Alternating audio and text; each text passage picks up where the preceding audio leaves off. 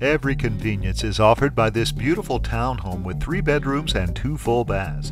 One bedroom and one bath are downstairs, and you'll enjoy a large living room with a fireplace, a separate family room, and a nice sized kitchen with tile floors and a nook. The community includes a pool and spa and tennis. Treat yourself to a tour by calling today.